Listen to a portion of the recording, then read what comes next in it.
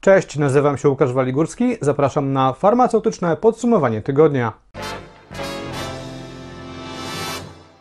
Cześć, dzięki, że oglądacie lub słuchacie farmaceutycznego podsumowania tygodnia. Tradycyjnie, jak co tydzień, przygotowałem dla Was zestawienie pięciu najciekawszych, najważniejszych tematów, o których farmaceuci dyskutowali w minionych siedmiu dniach. Będzie zatem m.in. o cofnięciu zezwolenia pewnej słynnej aptece z Jarocina, będzie o skargach farmaceutów na funkcjonowanie systemu KS Apteka, ale też zastanowimy się, czy szwagier to jeszcze rodzina. Zapraszam na farmaceutyczne podsumowanie tygodnia. Wszyscy zapewne doskonale pamiętamy kontrowersje, jakie na początku 2019 roku wywołał reportaż w radiu TOK FM pod tytułem Morfina. Reportaż ten opowiadał o pewnej pomyłce w aptece w Jarocinie, gdzie techniczka farmaceutyczna pod nieobecność magistra farmacji wydała rodzinie pacjentki lek z morfiną w dawce dziesięciokrotnie wyższej niż ta, która była przepisana na recepcie. Pacjentka po paru dniach zmarła. Na sprawą zainteresowała się policja, prokuratura i także inspekcja farmaceutyczna. Do tej pory jeszcze nie znamy wyników śledztwa policji. Nie wiemy, czy był związek między pomyłką a śmiercią pacjentki.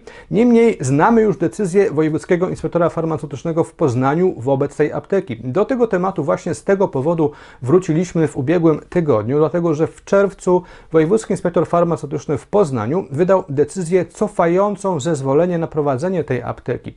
Ta decyzja liczy sobie aż 22 strony. W całości opublikowaliśmy ją w serwisie mgier.farm. Jest to bardzo ciekawa lektura, z tego powodu, że bardzo szczegółowo tam omówiono m.in. wszystkie wszystkie nadużycia i naruszenia przepisów, które e, pojawiły się w tej aptece i które stały się przyczyną cofnięcia jej tego zezwolenia. Z tego dokumentu można się też dowiedzieć, jaki był przebieg całego postępowania i w jaki sposób właściciele tej apteki, apteki sieciowej, pewnej znanej, dużej sieci, która działa w Polsce, tłumaczyli się e, z tych naruszeń i w jaki sposób niestety, ale zwalali całą winę na farmaceutkę, która pełniła funkcję kierownika tej apteki. Farmaceutkę, którą zresztą po tej aferze zwolnili. Cała ta decyzja, jak wspomniałem, liczy sobie aż 22 strony. Jej streszczenie, ale też pełną treść opublikowaliśmy w minionym tygodniu w serwisie mgier.farm. Zachęcam do jej przeczytania, innymi dlatego, że możecie się z niej dowiedzieć, co oznacza stwierdzenie super kierownik apteki, bo okazuje się, że w tej sieci aptek istnieje taka funkcja. Co ona znaczy, co robi superkierownik apteki? O tym dowiecie się z materiału w serwisie mgier.farm. Zachęcam do jego przeczytania. Od kilku tygodni do naszej redakcji na skrzynkę redakcyjną redakcja małpa mgier.farm wpływają listy, liczne skargi od farmaceutów na funkcjonowanie programu KSAOW, czyli po prostu KS Apteka firmy e, Camsoft. A skargi te dotyczą reklam w formacie pop-up, które wyświetlają się w trakcie pracy na tym e, systemie, szczególnie podczas wykonywania zamówień leków z hurtowni. E, farmaceuci przesłali nam także swoje korespondencje z firmą Camsoft, która tłumaczy się z tego, dlaczego te reklamy się pojawiają, dlaczego ich nie można wy wyłączyć, no i jaki jest oczywiście ich cel. My również napisaliśmy do firmy Camsoft prośbę o ustosunkowanie się do tych skarg, do tych zarzutów farmaceutów. Otrzymaliśmy dosyć obszerną odpowiedź, którą w minionym tygodniu opublikowaliśmy w serwisie mgier.farm. Zachęcam do przeczytania tego materiału.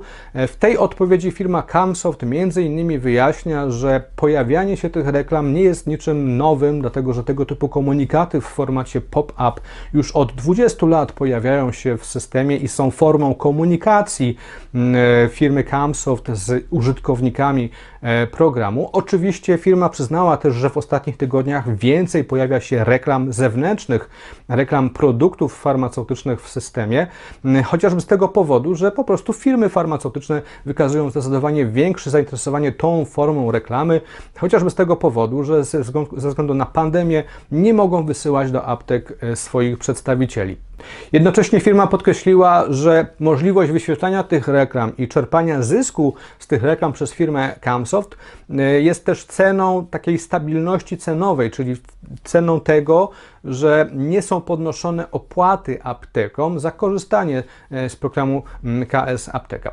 Serdecznie zapraszam do przeczytania artykułu na ten temat, do komentowania tych wszystkich argumentów, które pojawiają się po stronie firmy Camsoft, ale także argumentów, które pojawiają się po stronie farmaceutów, Naczelnej Izby Aptekarskiej, ale także chyba największego konkurenta firmy Camsoft, czyli Jana Malickiego, który również użyczył nam swojego komentarza w tym artykule, który pojawił się w serwisie mgier.farm. Serdecznie zapraszam do przeczytania tego artykułu. Jednym z tematów, który bardzo szeroko był komentowany w minionym tygodniu w środowisku farmaceutycznym, e, był temat pewnej nowelizacji, pewnej ustawy, która pojawiła się w Sejmie i która obejmuje pewne istotne zmiany w prawie farmaceutycznym. E, ta nowelizacja dokładnie nosi nazwę Rządowy projekt ustawy o zmianie niektórych ustaw w celu zapewnienia funkcjonowania ochrony zdrowia w związku z pandemią COVID-19 i po jej ustaniu. No a w tej nowelizacji pojawia się całkiem sporo zmian także w prawie farmaceutycznym, a ta, która wzbudziła najwięcej emocji wśród farmaceutów, to zmiana dotycząca e-recept. A dokładnie chodzi o informacje o e-recepcie, które otrzymuje pacjent. Obecnie pacjent informację o e-recepcie, jaka została do niego wystawiona, otrzymuje w trzech formatach. Może otrzymać w trzech formatach. Jest to e-mail, jest to SMS lub jest to wydruk informacyjny, który pacjent otrzymuje podczas wizyty w gabinecie lekarki lub e, farmaceuty lub oczywiście e, lekarza. Ministerstwo Zdrowia e, tą nowelizacją chce wprowadzić kolejny nowy sposób przekazywania pacjentowi informacji o e-recepcie poprzez umożliwienie wysyłania tej informacji na aplikacje mobilne, z których korzysta pacjent. Dokładne zasady i zakres tej informacji, jaka miałaby być wysyłana do aplikacji mobilnej, ma określić minister zdrowia na drodze rozporządzenia. Tak więc dokładnie jeszcze nie wiemy, jak będą zabezpieczone te informacje, które e, będą wysyłane do aplikacji e, mobilnej. Niemniej już ta propozycja wzbudziła pewne kontrowersje w środowisku farmaceutycznym. Między innymi na Twitterze wiceminister zdrowia Janusz Cieszyński został w pewien sposób zaatakowany przez członków samorządu aptekarskiego, e, którzy widzą w tej sytuacji pewne nawiązanie do kontrowersji, jakie niedawno wywołała aplikacja sieci aptek Gemini. Część członków samorządu widzi w tym wręcz próbę zalegalizowania tego, co chciała robić e, sieć aptek Gemini w postaci profilowania pacjentów na podstawie informacji z e-recepty. E, wybuchła wokół tego spora wrzawa, sporo kontrowersji. Myślę, że w przyszłym tygodniu uda nam się rozwiązać i rozwiać e, wiele z tych wątpliwości. Zachęcam do śledzenia serwisu mgier.farm na pewno pojawi się w tym kontekście bardzo ciekawy materiał, a póki co zachęcam do przeczytania artykułu na ten temat, który już teraz pojawił się w serwisie i który dokładnie pokazuje, jakie zmiany są planowane przez resort zdrowia w prawie farmaceutycznym. W minionym tygodniu Konfederacja Lewiatan poinformowała, że Komisja Europejska wystosowała do polskiego rządu uzasadnioną opinię w sprawie zakazu reklamy aptek. Jest to konsekwencja skargi do Komisji Europejskiej, jaką złożyła Konfederacja Lewiatan w roku 2013. E, między innymi w wyniku tej skargi Komisja Europejska stwierdziła, że całkowity, totalny zakaz reklamy aptek, jaki działa w Polsce, nie jest zgodny z prawem unijnym. W rezultacie powinien on zostać zmieniony. Jeżeli polski rząd tego nie zrobi, sprawa trafi do Trybunału Sprawiedliwości Unii Europejskiej. Zdaniem Konfederacji Lewiatan zakaz reklamy aptek w takiej postaci, jak funkcjonuje obecnie w Polsce, uniemożliwia aptekom prowadzenie różnych akcji e, prozdrowotnych, e, które mogą odbywać się z korzyścią dla pacjentów i właśnie ze względu na zakaz reklamy nie są prowadzone, na czym pacjenci mają e, dużo tracić. Konfederacja Lewiatan wskazuje, że zakaz reklamy aptek w obecnej postaci może być przeszkodą do wprowadzenia opieki farmaceutycznej, która zgodnie z obecnym obecnym projektem ustawy o zawodzie farmaceuty nie ma być obowiązkowa dla aptek i mają świadczyć tylko te apteki, które będą tego chciały. Pojawia się więc pytanie, w jaki sposób te apteki będą o tym informować. Do tej dyskusji oczywiście włączył się Związek Pracodawców Aptecznych Farmanet, który zaproponował, aby troszkę złagodzić obecny zakaz reklamy i wprowadzić do niego e, wyjątki, chociażby w takiej postaci jak prowadzenie akcji e, edukacyjnych, prowadzenie akcji prozdrowotnych czy udział aptek w karcie dużej rodziny. O tym apteki miałyby móc informować i zmiana w ten sposób tego zakazu reklamy aptek miałaby wypełnić te zalecenia, które wydała rządowi polskiemu Komisja Europejska.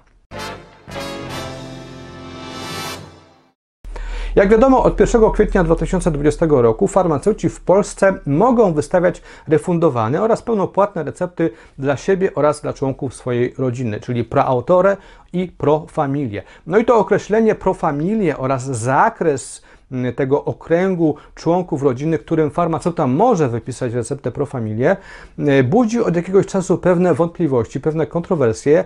E, zapis e, mówiący o tym w prawie farmaceutycznym dokładnie mówi, że profamilię można przepisywać małżonkom, osobom pozostającym we wspólnym pożyciu, krewnym lub powinowatym w linii prostej, a w linii bocznej do stopnia pokrewieństwa między dziećmi rodzeństwa osoby wystawiającej. Jak więc widać, ta definicja jest dosyć skomplikowana. W rezultacie jeszcze w maju na stronach kilku okręgowych izb aptekarskich pojawiły się jej objaśnienia oraz wykazy y, członków rodziny, którym farmaceuci mogą wystawiać recepty profamilie. No i niestety okazuje się, że te listy się między sobą trochę różniły. Dlatego jeszcze w maju poprosiliśmy Ministerstwo Zdrowia o oficjalną interpretację przepisu e, profamilie i listę tych członków rodziny, którym farmaceuci ci mogą wypisywać recepty e, Profamilie. Odpowiedź e, na tą prośbę otrzymaliśmy ze sortu zdrowia na początku lipca. W zeszłym tygodniu e, pojawiła się ona w serwisie mgier.farm. Możecie tam znaleźć artykuł na ten temat, w którym jest to pismo w całości, ale także jest infografika, która pokazuje, jak w oparciu o to pismo wygląda to drzewo, można powiedzieć, rodzinny Profamilie, jeżeli chodzi o recepty, które mogą wystawiać dla rodziny farmaceuci. No jest tam parę niespodzianek, chociażby e, takich, które wskazują, że do profamilia nie zalicza się e, powinowatych w linii bocznej. W rezultacie z tej interpretacji Ministerstwa Zdrowia wynika, że profamilia nie jest na przykład szwagier, nie jest także e, żona brata, nie jest także brat żony i oczywiście ich dzieci. Jeszcze raz zachęcam do przeczytania tego artykułu, który pojawił się w serwisie mgr.farm. Tam w całości zna znajdziecie to pismo, znajdziecie także infografikę, która pokazuje tak naprawdę komu z rodziny e, można wystawić receptę Profamilię. I to już wszystko, jeżeli chodzi o farmaceutyczne podsumowanie tygodnia. Bardzo dziękuję Wam za uwagę. Po więcej informacji, więcej newsów z rynku aptecznego zapraszam do serwisu mgr.farm. Tam codziennie w pocie czoła przygotowujemy dla Was nowe doniesienia z rynku aptecznego, rynku farmaceutycznego. Tradycyjnie zapraszam także do prenumeraty naszego magazynu drukowanego mgr.farm. Jest to największy w Polsce dwumiesięcznik dla farmaceutów, ma aż 120 stron. Każdy znajdzie w nim coś dla siebie, a przy okazji za prenumeratę zyskujecie szansę na aż 12 punktów edukacyjnych. Bardzo dziękuję za uwagę i zapraszam na farmaceutyczne podsumowanie tygodnia już za tydzień.